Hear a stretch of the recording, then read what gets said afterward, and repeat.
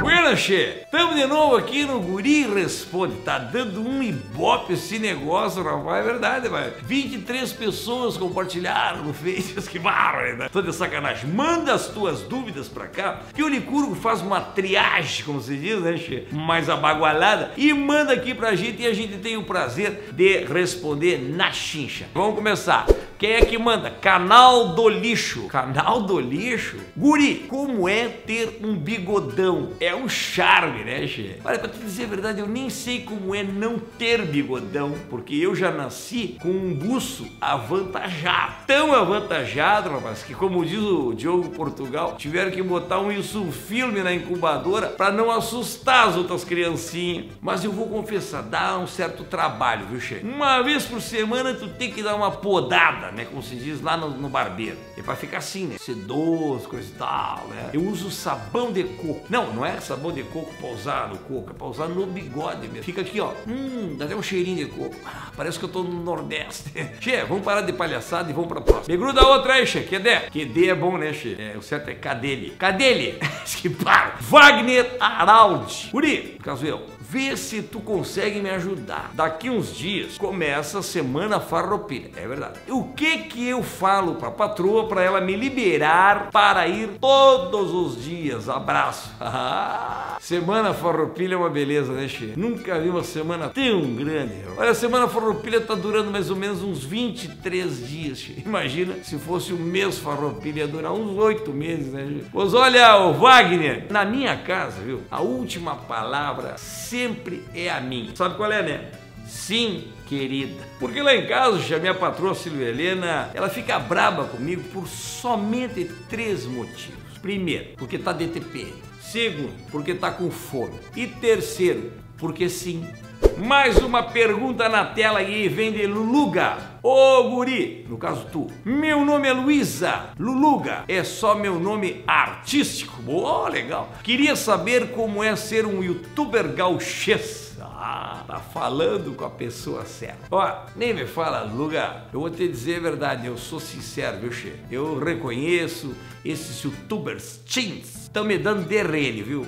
Pá, a peleia tá, tá difícil, viu, Chico? Eles só falam porcaria, rapaz. Meu Deus do céu, rapaz. Falam cada coisa, Chico. Eu dou um mau exemplo pra criançada. Eu não quero aqui falar mal deles, né? Embora já tô falando, sabe? Tá, mas é verdade, velho. Olha, se salva um que o outro lá que tem conteúdo, como se diz, né, Chico? Mas olha, o que, que eu vou fazer, rapaz? E, e, e, cada três palavras, um é palavrão, rapaz. Se eu entrar nessa aí de agora querer me tornar um youtuber gauchês com um baita audiência, eu vou começar a dizer um monte de porcaria aqui também, mas tá louco? É, prefiro ficar então com meus 120, 130, 150 mil ali seguidores, mas que eu possa me comunicar com todo mundo, é verdade? É, cada um tem os seus problemas, né, Xê? Respondido esse desabafo, como se diz, né, Xê? Isso não é nenhuma resposta, é um desabafo, botei pra fora, né, como se diz.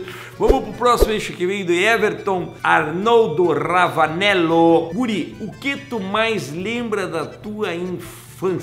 Pá! Tem, pá. Minha infância foi louca de especial. Foi mesmo. Olha, hoje em dia os jovens têm iPhone, iPad, iPin. Rapaz, no meu tempo eu só tinha piolho. A gurizada de hoje em dia leva um tablet pra aula, rapaz. Sabe o que, que era, na minha época, o mais tecnológico, tá? Era um lápis com a tabuada. É verdade, Nicolo. E dava problema, porque no meio do ano o lápis estava gasto, tu só conseguia chegar até a tabuada dos 5. que barbaridade. A gente brincava na rua, corria lá, cheirava de pé descalço. Hoje em dia, quando tu vê uma criança na rua caminhando, ela tá caçando Pokémon, rapaz. Tá, chefe, não vamos ficar falando do tempo antigo aí, que vão pensar até que eu sou do século passado. Vamos continuar com as perguntas aqui. Rafael T. Trevisan. Uri, no caso eu, tu acha que o fato de o Licurgo ser emo é falta de laço? Tu sabe que tu pode estar tá certo, Rafael? Olha, com tanta coisa boa para escutar, com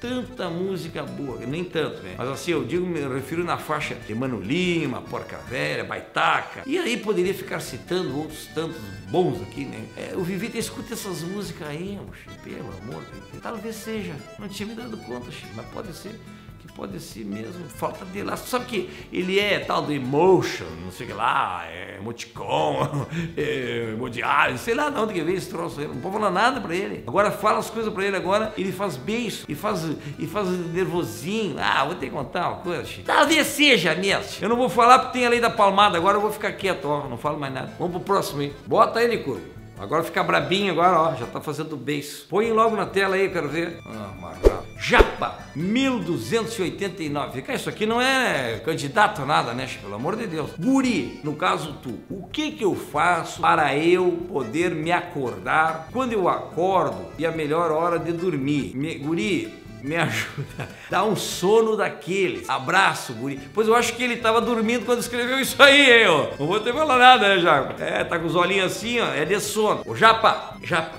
Japi. Eu vou te falar. Eu também sofro desse teu problema que eu já captei o que, que é. Eu saio da cama, mas a cama não sai de mim. Che, mas um dia eu li uma recomendação num livro de autoajuda que eu uso muito, viu, che, nas minhas palestras, inclusive, que eu nunca fiz, mas eu gostaria de fazer, que é o seguinte, ó, uma frase muito importante do filósofo, não sei que lá de onde que é, também não sei de onde que é, que diz assim, ó, nunca desista dos seus sonhos. Bonito, né, che? Por isso que eu nunca desisto dos meus sonhos. Às vezes eu fico no, sonhando até, até o meio-dia, mais ou menos.